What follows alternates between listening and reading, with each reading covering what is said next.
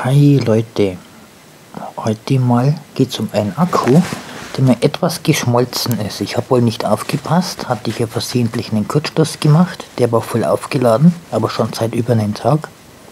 So ein 200 mAh Akku und ist er da etwas, er ist heiß geworden.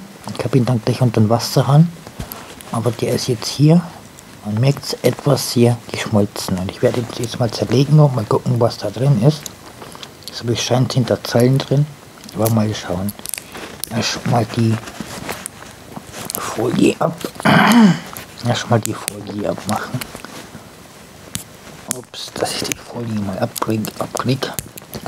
Ist aber echt stabil. Mal die Folie ab. Und mal gucken, der ist noch nass, weil ich ihn im Wasser hatte. Es ist ein Nickel-Metallhydrid-Akku, den kann man schon ins Wasser tun jetzt mal gucken, was da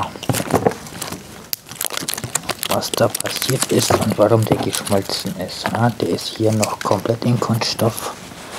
Da müsste ich jetzt Kunststoff irgendwie aufkriegen. Moment. Okay, jetzt habe ich den mal auf. Mal gucken, was da drin ist und wie es da ausschaut. Oh, da schaut es aber aus drin. Mal versuchen, die Zellen rauszubekommen. Die sind ja so kleine Zellen. Oh, oh. Sind aber sehr fest drin. Also ich hatte den ja mit Wasser geflutet. Ups, eine ist schon ab. Und dadurch, dass das Gehäuse so deformiert ist, ist es echt schwer, aber ich versuche den mal aufzukriegen. So, jetzt habe ich ihn draußen. Wenn das Gehäuse nicht so deformiert wäre, würde es leichter gehen. Es sind 1, 2, 3, 4, 5, 6, 7 Zellen. Ich denke 7 mal die 1,2 Volt. Ja, sieben Zellen sind in dem 9 Volt Block Akku. Draufstehen tut nichts, aber man merkt, die sind hier richtig heiß geworden. Hier die unterste ist noch kühl geblieben, schätze ich.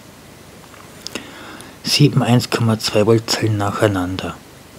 Ich habe nur gehört, dass die Zellen irgendwie gegast haben. Die sind aber nur kurz geschlossen worden, nicht mehr und nicht weniger.